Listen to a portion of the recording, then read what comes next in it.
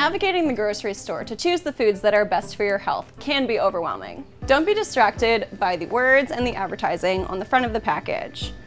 Always look to the nutrition facts label to use as your guide. Understanding how to use the nutrition facts label gets easier with time and practice. Let's break it down to the basics. Looking at the label, we always want to start from the top and work our way down. So the first thing we want to look for is the serving size. All of the numbers on the label are based off that one serving size. So if you're going to eat more than just that one serving, you're going to be getting more than just what's on the label. Let's start with this can of green beans. This can has a serving size of one half of a cup. So if you're going to be eating a whole cup instead of just a half of a cup, you need to multiply all of the numbers by two. So instead of just getting 290 milligrams of sodium, you're actually going to be getting 580 milligrams of sodium. Next, you'll find the servings per container. That's the number of servings in the package based off the serving size. So it's easy to think that this bag of chips is just one serving. But really, when you look at the label, there's actually three servings in this one bag. There are a lot of foods like this, especially coming from a lot of our snack foods. Make sure you're keeping an eye on the number of servings per container to make sure that you know what you're really eating. Moving down the label, everything below the serving information are the nutrients in that food. There are some nutrients that you want to keep low and others that you want to keep high. But how do you know if they're low or high? This percent daily value on the right side can be your guide. We can go into detail about what percent daily value really means, but it is kind of confusing. So I'm going to break it down for you by sharing a quick tip. Rule of thumb, 5% and lower is low, and 20% and higher is high.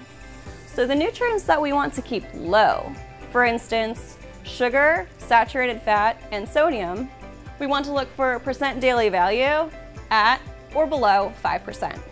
And nutrients that we want to keep high, like fiber, vitamins, and minerals, we want to look for a percent daily value near 20% or higher. Note that if the fiber, vitamins, and minerals aren't high, it doesn't necessarily mean that that food isn't good. It just means that they're not a good source of those nutrients in that food. So you're gonna want to get those nutrients from other sources of food throughout your day. The more we practice reading labels, the easier it becomes to know what we're looking for in each food. Let's take a look at this box of cereal. Cereal is really high in sugar. For this box of cereal, the serving size is one cup. But how often are you really eating just one cup of cereal? So if you're going to really be eating two cups of cereal, you're going to be eating 36 grams of sugar instead of 18 grams of sugar. That's 36 grams of sugar in one bowl of cereal. The last thing to look at on the nutrition facts label is the ingredients list. The ingredients tell you what that food is made of. So the ingredients are listed strategically. So the ingredient that the product has the most of is labeled first, followed by the second most ingredient, and so on. So if you're looking down at the label and you see the word sugar within the first three ingredients, keep in mind that that product contains mostly sugar. Label reading is a skill that gets a lot easier the more that you practice. Once it becomes part of your basic routine, you'll be able to make the best informed decisions for what you buy. Happy shopping!